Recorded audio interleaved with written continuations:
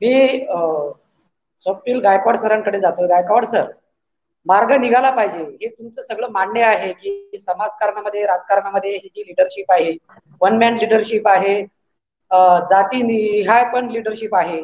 यातून मार्ग काढावा लागेल तो आपल्याला. कारण बाबासाहेबांनी या शिक्षित सवरलेल्या लोकांवरती जबाबदारी दिलेली आहे. बाबासाहेब म्हणायचे की डामाडोल अवस्थेत नौका जर असेल तर तिला पहिलं तिरी नेण्याचं सामर्थ्य शिकल्या आणि नोकरदार वर्गांकडे असते. या लोक या नोकरदार वर्गाचं शिक्षित लोकांचं योगदान कसं घेऊन आपल्याला ही जी काही व्यक्तिगत लिडरशिप आहे किंवा व्यक्तिस्तव माजलेला आहे ते लोकशाहीमध्ये आपल्याला परिवर्तित करता येईल. काय सांगाल सर?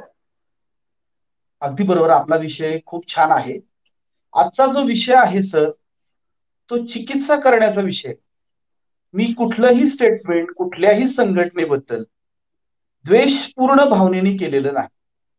हा मी अत्यंत प्रांजळपणे हा पहिला मुद्दा आपल्यासमोर मांडतो. आपण आपल्या आपल्या गोष्टी जर आपण सांगितल्या नाहीत आपण कुठे चुकतोय ते जर आपण सांगितलं नाही आणि आपण ते कबूल केलं नाही तर मग सुधारणा करण्याला वाव नाही. या संघटना सगळ्या आपल्याच आहेत. आताच मॅडमनी सांगितलं की आपण जे काही मोक्याच्या जागा ज्यांनी हस्तगत केलेल्या आहेत त्या मंडळींचं योगदान काय आता सिलेबस फ्रेमिंगमध्ये आमचे जे प्राध्यापक मंडळी आहेत पुणे विद्यापीठामध्ये आम्ही सिलेबस फ्रेमिंगमध्ये बाबासाहेब आंबेडकर कसे इकॉनॉमिस्ट होते हे टाकण्याचा प्रयत्न आम्ही केला. त्याला प्रचंड विरोध झाला. प्रचंड विरोध झाला त्या गोष्टीला. परंतु तरी देखील तो आम्ही प्रयत्न केला की बाबासाहेब आंबेडकर आपल्या कॉमर्सच्या सिलेबसमध्ये ते कुठल्याही पद्धतीने इकॉनॉमिक्स म्हणून त्यांना स्थान का मिळत नाही. बाबासाहेब आंबेडकर आणि शाहू फुले बाकीचे आपले सगळे महापुरुष हे सिलेबसमध्ये का नाहीत? याबद्दल आम्ही संघर्ष केला. पुणे विद्यापीठाला सावित्रीबाई फुले पुणे विद्यापीठ हे नाव द्यावं यासाठी आम्ही संघर्ष केला. महाविद्यालयामध्ये वैचारिक पातळीवरती फुले आंबेडकर शाहूंच्या जयंत्या व्हायला हव्यात यासाठी सुरुवातीला आम्हाला संघर्ष करावा लागला. या जयंत्या महाविद्यालयामध्ये होत नव्हत्या. आणि या जयंत्या करण्याचा प्रयत्न पण त्या जयंत्या कशा की बाबासाहेब आंबेडकर महात्मा फुले शाहू महाराज कसे सर्वसमावेशक आहे हे विद्यार्थ्यांपर्यंत पोहोचवण्याचा आम्ही प्राध्यापक मंडळी अत्यंत निकराने प्रयत्न करतो. एकेकाळी मी सुद्धा बामसेप या संघटनेचा अत्यंत सक्रिय कार्यकर्ता होतो. परंतु मला तेच सांगायचं याच्यामध्ये की बामसेप या संघटनेमध्ये विचार खूप चांगला आहे. सर्व जाती धर्माची लोक बामसेप संघटनेमध्ये जुळतात परंतु नेतृत्वामध्ये विजन विजन नाही. या गोष्टीमुळे बामसेफ मधून मी बाहेर पडलो. आजही बामसेफला माझा सपोर्ट आहे. कारण विचारांचं वादळ लोकांमध्ये वैचारिक जे म्हणतो ना थिंक टँक थिंक टँक निर्माण करण्याचं काम बामसेफ सारखी चळवळ जरूर करते. आपल्या गावामध्ये वाड्या वस्त्यामध्ये जयंतीचं जे ओंगळवान स्वरूप आहे ते बदलण्याचा प्रयत्न माझ्या पातळीवरती मी आणि माझे काही सहकारी प्राध्यापक आहेत त्यांनी करण्याचा प्रयत्न केलेला आहे. अनेक लोक म्हटली की व्याख्यानमाला कशासाठी पाहिजेत? निबंध स्पर्धा कशासाठी पाहिजेत? परंतु अशी सुरुवात आम्ही जयंत्यांमध्ये पुणे शहरामध्ये आता सुरुवात केलेली आहे.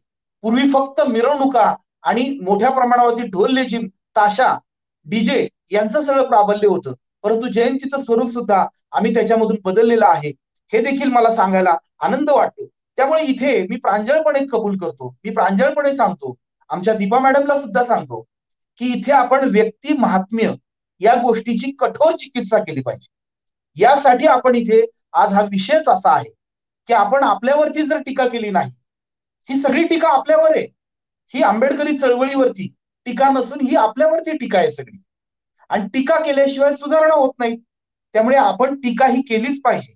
आंबेडकरी चळवळीमध्ये जे साचलेपण आहे ते दूर करण्यासाठी आपण मोठ्या प्रमाणात लेख लिहिले पाहिजेत. सर्व समावेशक आंबेडकर आपण मांडले पाहिजेत. आपण मोठ्या प्रमाणावरती ओंगळवानं स्वरूप लोकांचे आर्थिक प्रश्न जे निर्माण झालेत त्याच्याबद्दल बोललं पाहिजे. आपण प्राध्यापकांनी मिळून मोठ्या प्रमाणावरती व्याख्यानं दिली पाहिजे वाड्या वस्त्यांमध्ये जाऊन लोकांचे क्लास घेतले पाहिजे या सगळ्या गोष्टी आमच्या पातळीवरती आम्ही करत आहोत याबद्दल वाद नाही. परंतु आताच मॅडमनी सांगितल्याप्रमाणे बुद्धाचा जो मंगल मैत्रीचा संदेश आहे तो आपण सगळ्यांनी पालन केला पाहिजे. संघटनांचं वेगळेपण आहे मान्य आहे.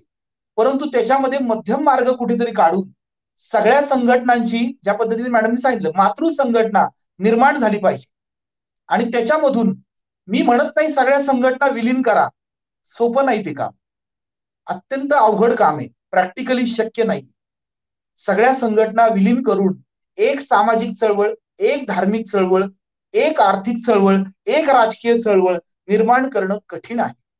परंतु सर्व चळवळींचा एकमेकांशी अत्यंत सौहार्दपूर्ण वातावरणात संवाद होणं गरजेचं आहे. सम्यक संवादावरती आपला विश्वास पाहिजे. आपलं कम्युनिकेशन हॅलो आपलं कम्युनिकेशन एकमेकांशी व्हायला हवं. आपण एकमेकांशी बोलतं राहिलं पाहिजे.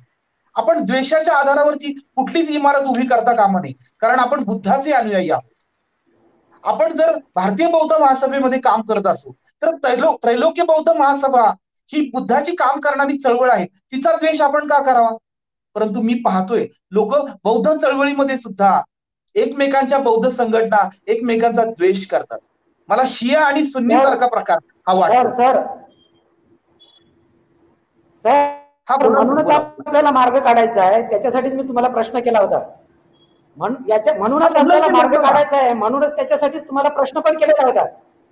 अगदी बरोबर. मग सर्वांनी मिळून आपण राजकीय चळवळ करीत असताना सर्व मंडळींनी मिळून ठरवायला हवं की आता आपण कुठल्या निष्कलंक चारित्र्याच्या माणसाला मतदान करायला हवं.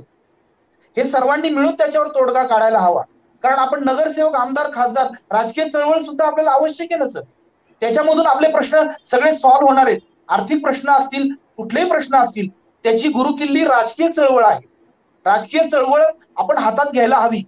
आपण आपले जे काही भावंड आहेत ते विक विकले जातात मत मतदारांमध्ये. तर ते विकता कामा नये. त्यासाठी पण चळवळ करायला हवी. आपण प्रांजळपणे प्रस्थापित लोकांचे पैसे जे काही लोक घेतात ते सगळं बंद करायला हवं. आणि स्वाभिमानाची चळवळ निर्माण करण्यासाठी आपण सर्वांनी एक मताने एक दिलाने कॅन्डिडेट निवडून आणावा. तो सर्व समाजाने त्याला उभं करावं. राजकीय चळवळींनी उभं करू नये. समाजाने त्या माणसाला उभं करावं. आणि त्याला सांगावं आणि त्याला निवडून देण्याची जबाबदारी सुद्धा आपण स्वीकारावी. इतर जाती धर्माच्या लोकांचा द्वेष न करता आपण त्यांना सोबत घ्यायला हवं.